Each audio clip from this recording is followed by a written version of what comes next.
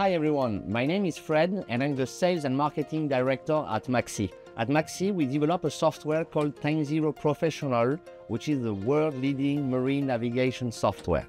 Today, we are very happy to welcome the team of SEA.AI on board of our demo boats here in Barcelona to test the new brain system and this integration with TimeZero Professional.